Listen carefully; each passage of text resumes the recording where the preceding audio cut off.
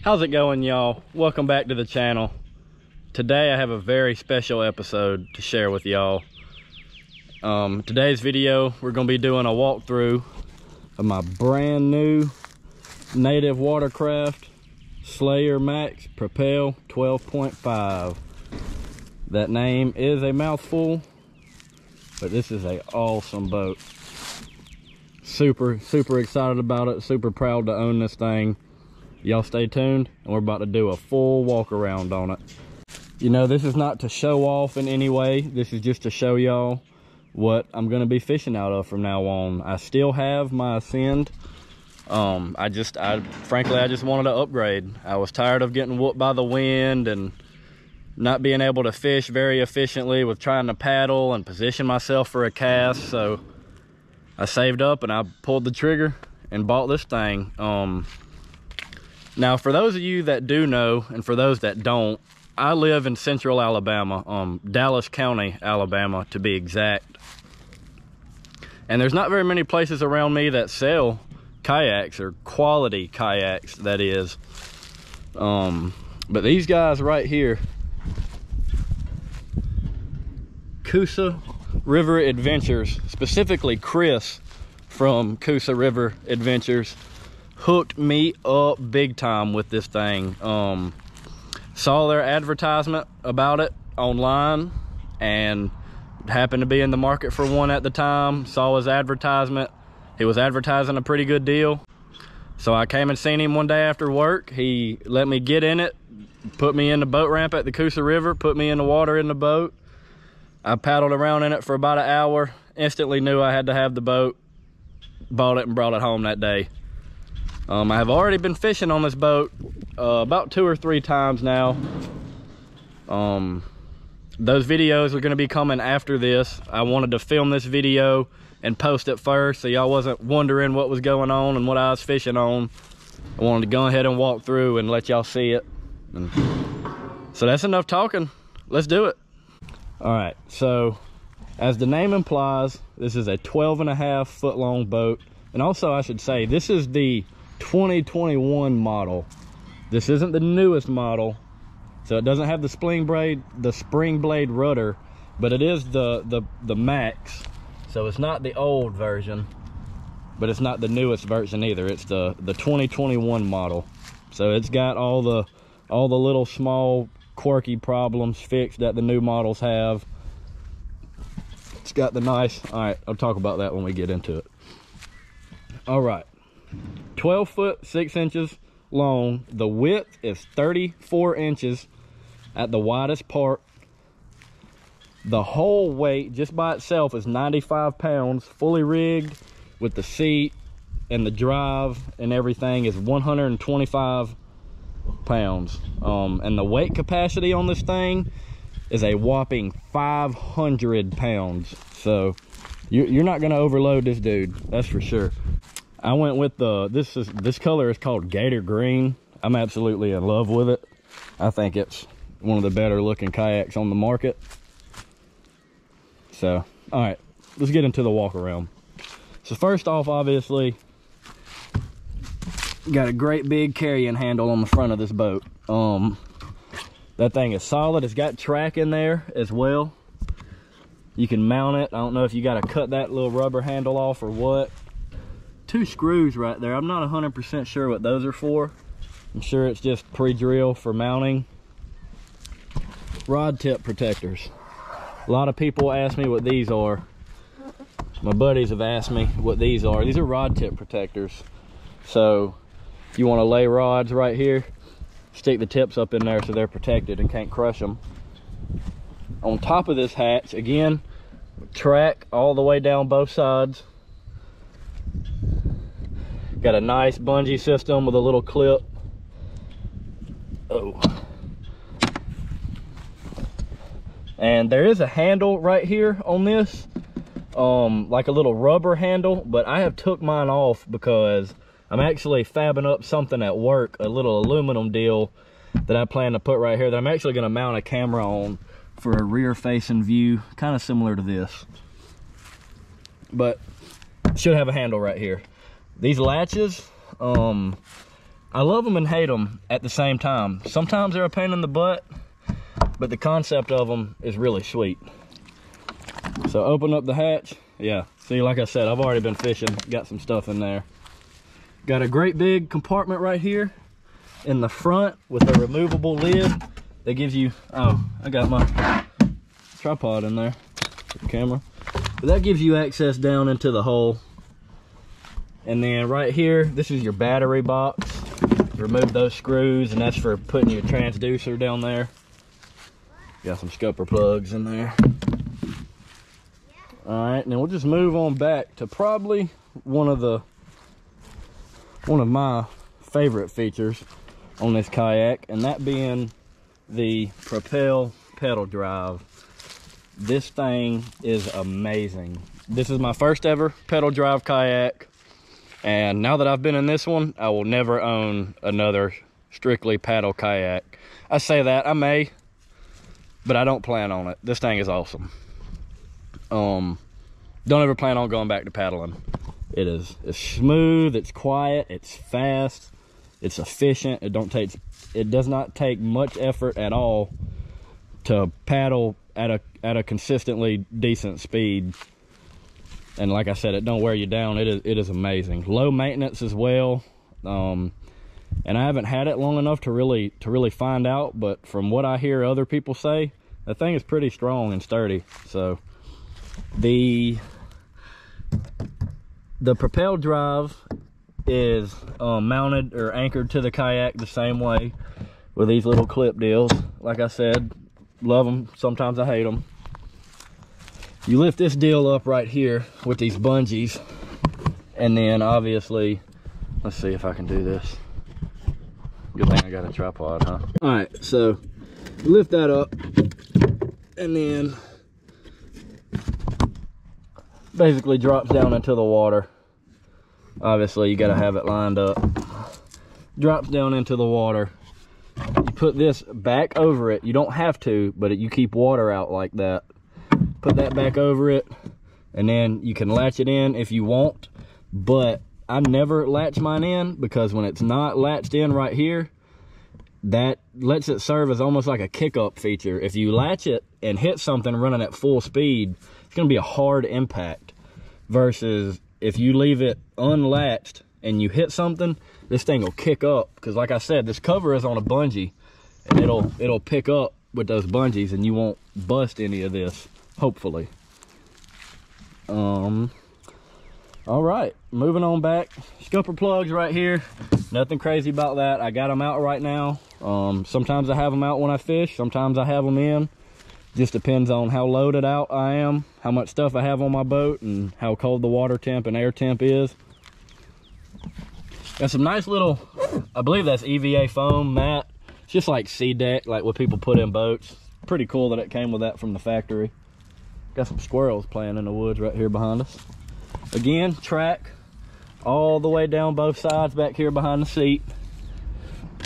And these are these are paddle clips, or really they could be any kind of clips because these are little spots for tackle boxes on both sides and that is amazing um so yeah i guess we'll talk about that now these both of these is just i mean they're storage for whatever you want it to be but they fit 3600 size plano boxes perfectly this is a just a rod holder mount that's aftermarket that came from academy for like 20 bucks pretty cheap same thing on the other side with the rail system and the bungees for holding I, I put my paddle right there most of the time. Actually, I keep my paddle in the back. I don't paddle much. And this is just a, a drill through plate for mounting a fish finder or whatever, doing any type of wiring. Drill through that plate and mount your stuff instead of drilling through your kayak. So under the seat, I do not have the under the seat storage in this thing because I throw my big camera box with all my camera gear under there and it is nasty under there right now. Had this thing outside like a dummy since last time I used it and it's nasty in there. Um yeah this is awesome. You got storage for a box or anything right here. Back behind you you can fit an entire 3700 box right here. You can fit four 3700 boxes under the seat you got two different positions for the seat they just screw in like that, bolt, don't go nowhere, unscrew it. You know, you can move it, whatever. Seat lays all the way back, which is really cool. So during transport, you don't have to take the seat out if you don't want to.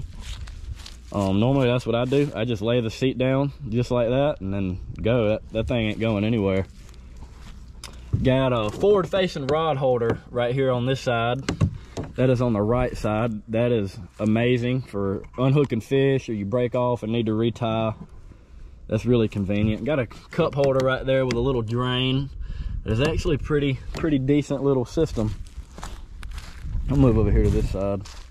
And inside the platform that the seat sits on right here, you got a cool little combo storage deal for pliers, um, really whatever you want to put right here. A scale, pliers, scissors, knife. Again, carrying handles on both sides right here, same as the front. Track system all the way back, both sides. Nice heavy duty handles. Before we get too much further, need to talk about this handle. So this is obviously not the stock native watercraft handle. I was very unimpressed with the handle that came on this boat, I'll say. That is the only thing that I didn't like about the boat out of the door is that handle. Um, just whenever you turn and you could feel the handle flexing and you can just tell that thing was not made very well. So I replaced it with the aluminum Burley Pro handle. Um, this thing is awesome, a lot smoother. You know, and I mean, that, that thing is sturdy, obviously. It's machined aluminum. It That thing will be here longer than I will. And this whole seat platform is removable too. It screws in and out the same way the seat does. These little knobs right here. And then back in the back, great big open area. This was one of the selling points on this kayak for me. I loved how big and open this is back here because I'm a BlackPak guy. I have a the Yak Attack 16 by 16 BlackPak. It fits back here along with room for a cooler or a bait well or whatever else back behind it, which is unmatched to me. Love the storage options on this thing. You got rear facing rod holders on both sides. I mentioned the tracks go all the way back. And these are just a, another type of paddle clip right here. Um, you know, nothing special about that, just a little bungee. You could use it for rods too, if you'd like, but that's what, that's what I do for my paddles. And then right here is another paddle storage. Those are called taco clips. I don't use those, to be honest. I'm not really sure why they're on the boat, but it's cool that they are on there with these being here. I mean, not really sure. Oh, also, these move back and forth on the track. You just tighten and loosen these little screws on each side. Can move it back. All the bungees as well, front and back, move. There's just a little Phillip Phillip head screw. Just loosen up that guy a few turns. You can slide those back and forth. But bungee system, the same back here. Nothing special about it. Got a little clip on there. Nice and easy. Nice and easy to do. One-handed boom no problem. This is your little rudder control deal. The rudder's under here on the bottom side of the kayak. Um, nothing really too fancy here. See you got lines that go in both sides run up the kayak to that handle and that's how you turn um, Now right here, this is a little dry storage area back here in the back. I honestly, I've never used it. Don't know how dry it is. It actually seems to be fairly dry. Um, there's no water in there at all, actually. That is good to know.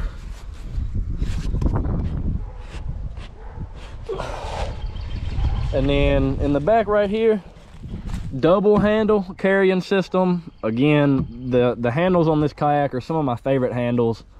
I've ever had on a kayak.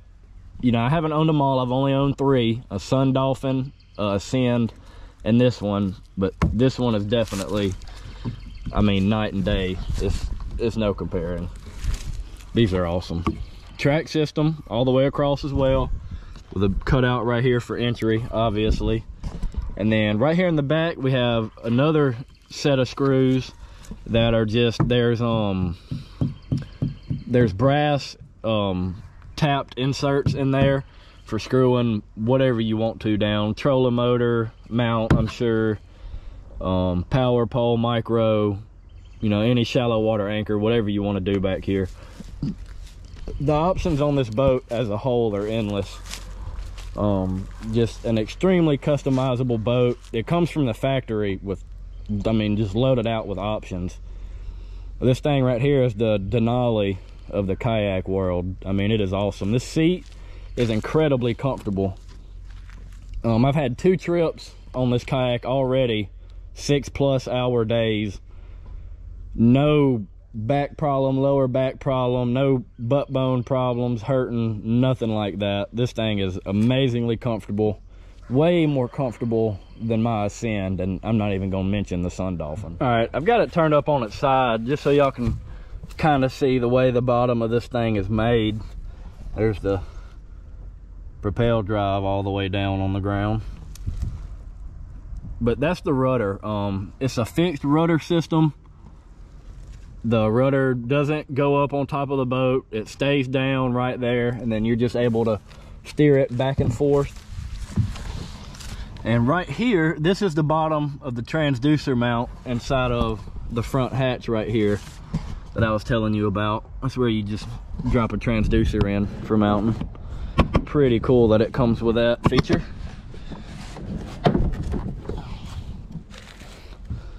And I'll go ahead and pull this out And this is the kayak bare bones. Actually, I guess I should pull the propel drive in order to call it bare bones. We'll put the hatch back on him.